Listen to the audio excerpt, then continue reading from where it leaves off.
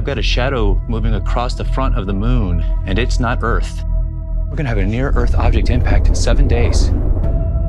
What in God's name is going on, Captain Davis? This object's roughly the size of a city. It's unlike anything we've ever seen in modern times. Initiate the Doomsday Meteor Protocol.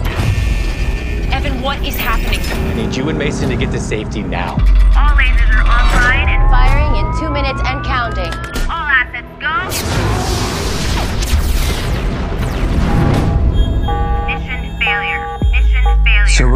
go on a manned mission to the meteor. Assemble a team. We will land on an unstable meteor. Fix some type of propulsion device to it and blast it off course. Suicide mission to save the world? I'm in. Three, two, one. Ignition.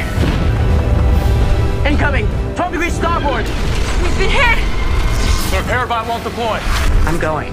If I don't, Earth dies. If We don't stop this thing. It is the annihilation of planet Earth. The clock is ticking. Multiple bogeys crossing our flight path. Get her in now! You need to move!